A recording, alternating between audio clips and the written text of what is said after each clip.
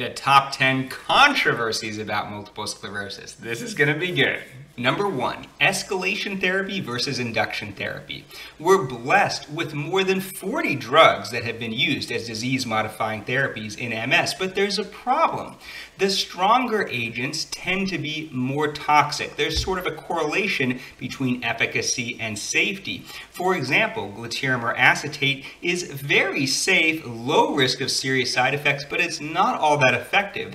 On the contrary, drugs such as Lemtrada are very effective but have significant risks like weakening the immune system, causing infections, and secondary autoimmune diseases. So let's say you're a young person with newly diagnosed relapsing MS. What should you do? Should you go slow, take a conservative approach, a safe medication, and maybe if you don't do well, you can always escalate to a stronger medication later on. This is known as escalation therapy. Of course, this is safer, but you're risking getting a relapse, maybe acquiring new disabilities, and perhaps portending a worse prognosis later on.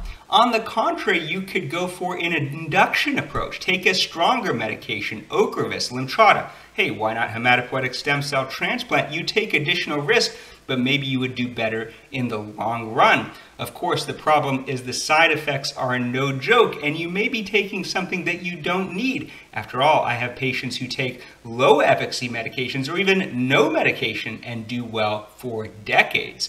There's increasing evidence that the induction approach, the more aggressive approach, may be better. This is a meta analysis you're looking at of several observational studies suggesting that, at least on the average, people taking induction therapies tend to do better. But this is not a randomized trial, and in fact, we have two ongoing randomized trials where people will be randomized to induction or escalation approaches. They're called the Treat MS and Deliver MS trials, so we may get a more definitive answer. Number two, hematopoietic stem cell transplant. If induction is good, why not go for the strongest treatment right away?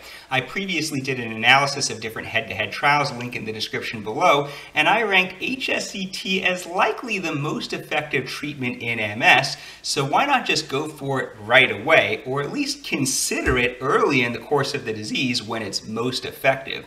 Although it's not a stem cell treatment per se, it's really the chemotherapy drugs and the conditioning regimen that wipe out the immune system and drive the therapeutic effect, but it can be incredibly effective, sometimes inducing long-term, even indefinite remission, and you may not need to take future therapies. Of course, there is a catch, which is the side effect of the drugs. A lot of these drugs can significantly weaken the immune system and cause infections and also cause other side effects, such as infertility, depending on the unique conditioning regimen. Also, there's evidence that stronger conditioning regimens like BEAM are more effective in the long run on average than weaker conditioning regimens, such as Cytoxan plus ATG. So, how aggressive exactly are you going to be? Number three, CCSVI. This is chronic cerebrospinal venous insufficiency.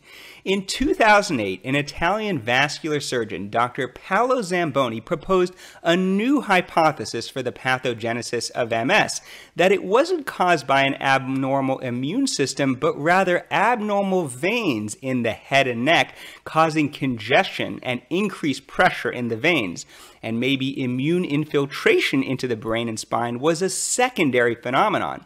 After all, it's well known that the lesions in MS primarily occur around the postcapillary venules as shown here. He did a famous study showing a very strong correlation between the presence of venous abnormalities in the head and neck and multiple sclerosis. And many people were having interventions, so called liberation therapies, angioplasties, to open up veins and stenting procedures. And some reported incredible results, including some very prominent people, such as Matt Embry and Montel Williams. However, subsequent randomized trials were not so clear, and the treatment is widely regarded to be unproven. But even today, there are some steadfast proponents. Number four, the cost of MS drugs. These disease modifying therapies are ridiculously expensive. Take a look at this graph of the cost of different DMTs over the last several decades. You can see as more and more drugs are coming onto the market with more competition, the price is actually going up. that's strange. This so called shadow pricing, copying the price of other drug companies, greatly outpacing the rate of inflation, is completely legal and common practice.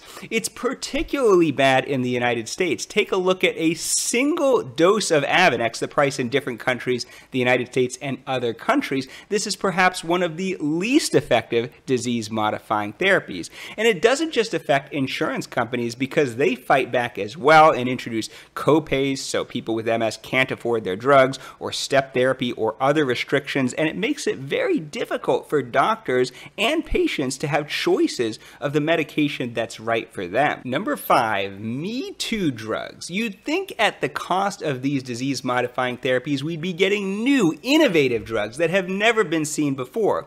That is true sometimes. For instance, Tysabri was truly a new, unique, and innovative drug, but many of these new drugs are essentially copies of older drugs that had been used in MS and other autoimmune diseases. For instance, if you look at this chart, Ocrevus is a drug that depletes B lymphocytes. But this strategy has been used for decades in MS. Rituximab has the same activity and, in fact, binds to the same receptor on B lymphocytes, CD20, and has been used in MS since the early 2000s. In fact, clinical data, for instance, Ocrevus in the Oratorio study in primary progressive MS and rituximab in the Olympus trial used in primary progressive MS have very, very similar results. Take a look at Aubagio and Arava, the enormous greater than $100,000 per year cost of the drug, and they have the exact same active ingredient. Think about a 20 year old taking this drug for 40 years until age 60. That's a $4 million difference what exactly are we getting for that $4 million? Number six, nutrition and MS. Is there a best diet for MS? There are various proponents of different diets which contradict each other. For instance, Dr. Roy Swank believed in a low saturated fat diet. Dr. Terry Wahls believes in a modified paleo diet. In the Best Bet diet promoted by Dr. Ashton Embry, there's sort of a combination of those two types of diets. And in the book Overcoming Multiple Sclerosis, they recommend a whole foods plant based diet plus seafood. Who's right? There are tons of anecdotes supporting all of these diets. There are some observational studies that could point us in a certain direction and a few small randomized trials, but nothing really definitive. No one knows for sure if there's a single best diet for MS, but there are some new ongoing randomized trials that could give us some more information. Number seven, what about other environmental factors? If you look at this map of the prevalence of MS throughout the world, you'll see that the prevalence varies tremendously. For example, in Cuenca, Ecuador, the risk is only 1 in 25,000, but in Syracuse, New York, it's 1 in 222, a more than 100 fold difference. Also, there's evidence that the prevalence of MS is increasing over time, particularly in developing countries like Mexico and India. So something must be making MS more common. But what is it? Is it nutrition? Is it that we're too clean? We don't get exposed to parasites when we're young, and that changes the development of the immune system? Do we not get enough sunlight exposure? Are we too stressed out? Is there a difference in diagnostic criteria? Do we just have more MRI machines, or are there other toxins or other aspects of modern society? No one exactly knows for sure, but something must be making it more common. Number eight, the cause of progressive multiple sclerosis. Some people, as they get older with MS, are very stable but others have a slow, insidious, progressive worsening of symptoms, and to their frustration, their MRI scans, at least on conventional MRI, the lesions may look exactly the same. So, why exactly are they getting worse? There are various theories. Some people believe there's a low level smoldering inflammation within the old lesions, invisible to conventional MRI, possibly detectable through multimodal MRI and other means such as specialized PET scans.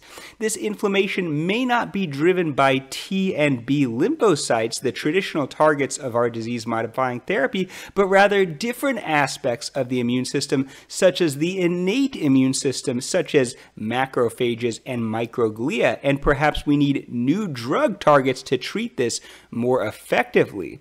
There's also some evidence that the problem may be within the cell, within the neuron. There may be an energy failure of the cell. And there's evidence of dysfunction of the mitochondria, the energy producing organelle within the cell. Yet another idea is that the inflammation is gone, the forest fire is out, but the trees are falling down.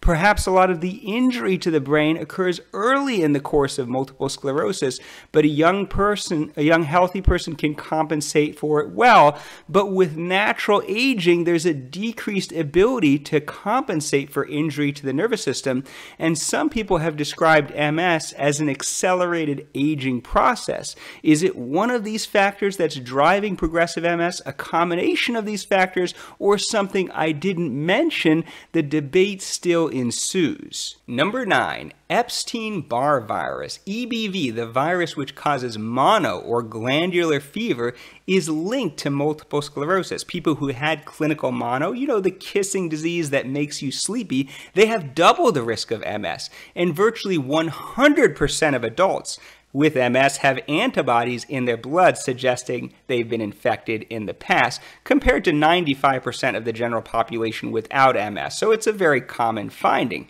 But there's specific evidence that it's likely part of the cause of MS in terms of the timing of infection relative to the onset of MS symptoms and elevation of serum neurofilament, a marker of damage to the central nervous system. However, there's a small chance that it could be reverse causation. Maybe MS changes the immune system and makes us more likely to have these changes and these antibodies in the first place. I think there is increasing evidence that it is part of the causal pathway, but what do we do about it? Can we even stop Epstein-Barr virus? Over 50% of five-year-olds have been exposed to the virus, so we perhaps we would have to intervene early with a vaccine. There's a product being developed called ATA188 in clinical trials right now now in immunotherapy against the virus, but will it work or is it too late? Has the virus already done its damage and changed the immune system forever? I think we'll get some answers over time. Number 10, and this is super controversial, is the use of disease modifying therapies in older people with MS. If you look at clinical trials in MS, often there's an age cutoff where people over age 55 are excluded from the trial. There are a couple of reasons for this.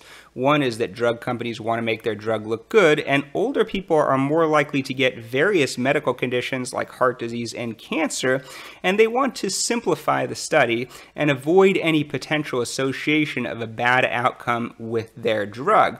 Also, people who are older are more likely to have more disability, and because of the nature of the EDSS scale often used in MS research, it sometimes can be difficult to measure a difference in people who are using gait assistive devices such as a cane. The result is that we have very limited actual clinical randomized data in older people with multiple sclerosis. In general, with MS, people who are younger are more likely to have clinical attacks, relapses, flares, and new MRI lesions. As people get older, they can be stable or have slowly progressive MS, but they're less likely to have new attacks and new lesions. And because many disease modifying therapies work on inflammation, some have suggested that they may be less effective in people who are older. And there are some observational studies that suggest this is true. Also, for people who are older, there may be a greater risk of taking certain immunosuppressant medications particularly during the COVID 19 pandemic, but also in terms of urinary tract infection, pneumonia, and other infections in general. So, some have suggested there may be a change in the risk benefit profile as people get older, particularly with newer, stronger medications that have a risk of weakening the immune system.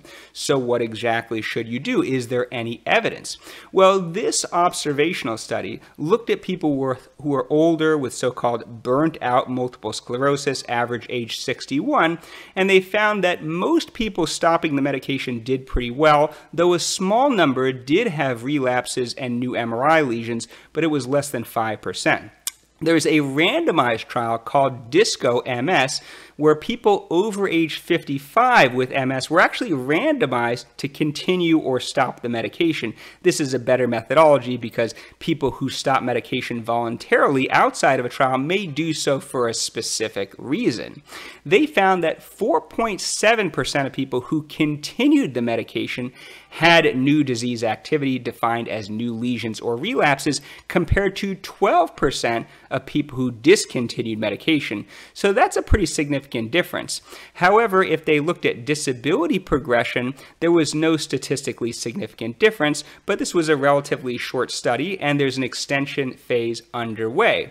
To this day, there's a lot of controversy on this topic. Some doctors would be more conservative and want to avoid medication unless it's definitively proven in that specific age group, where other doctors are vehemently opposed to stopping medication based on age. So if you want more information, definitely check out some references below and links to related videos that I discussed. And I'd love to know your opinion on these controversies in the comments below. And are there others that I left out? And do you have any suggestions for future videos?